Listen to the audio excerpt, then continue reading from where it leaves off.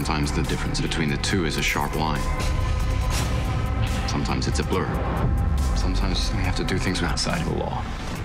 Bringing Daredevil to Netflix is obviously going to be a huge thing for Daredevil fans. What does it mean to you to have to put in 13 hours of Daredevil into what some people are just going to sit through yeah. in one day?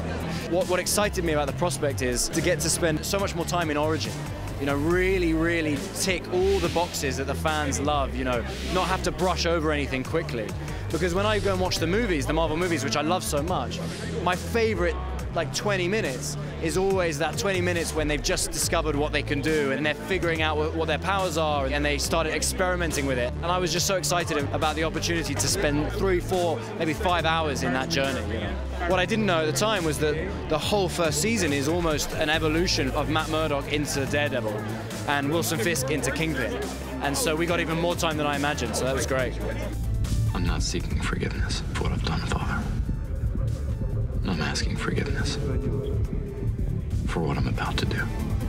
Jeph Loeb came to us from Marvel, and he had this, what seemed to be crazy idea, because it's something was so huge and so ambitious. This required not just going to one season of programming without a pilot. This is five seasons of programming, the creation of a universe without confirmation that it's got legs, which television never does, and usually movies don't even do that. So this is the beginning of something very, very big. Your outfit kind of sucks, by the way. Yeah, it's a work in progress. Ah.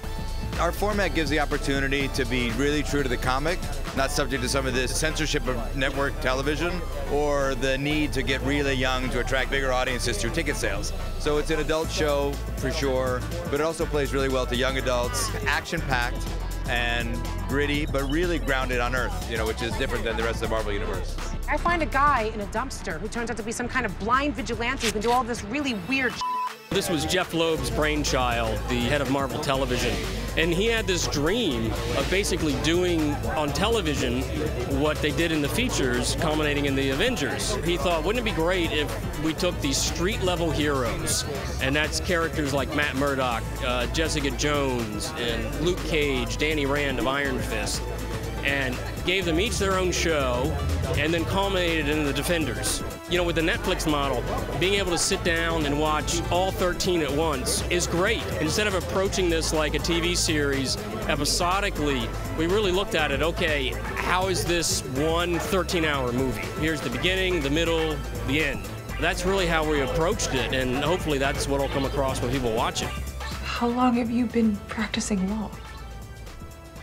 Times it's 12:22 a.m. About seven hours.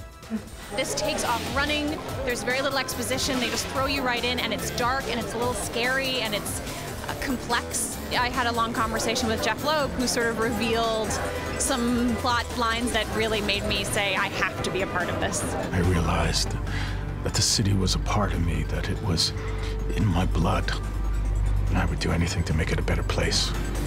So, what is it like having to be the right hand man to somebody like Wilson Fisk within the world of Hell's Kitchen and Daredevil? It's kind of a huge responsibility, but it's also a great thrill because he acts as a diplomat between all of the people that he's utilizing to, to grow his business, which might be the Yakuza, the Russians, the Chinese gangs. So, there's a lot of back and forth. Wesley does speak a few languages and knows about fine wine and fine suits and things like that. In, in a way, he's everything that Fisk isn't. What the hell? I'll get this into the right hands. So tell me a little bit about Achiro and what we can expect from him in Daredevil. Really, the bulk, the, the meat of my participation in this uh, season one is going to happen maybe episode five, six, and then it just gets hairy. I mean, whatever people are reporting uh, on uh, right now favorably about the show, they haven't seen anything yet. I mean, wait for the middle section and, and then the last act of the season, then you can make your decisions. But it's going to be exciting. That's all I can say.